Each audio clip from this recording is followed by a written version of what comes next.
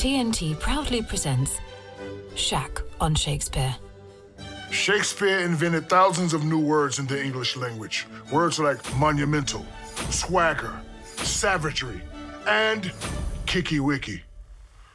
I guess he had an off day. This has been Shaq on Shakespeare.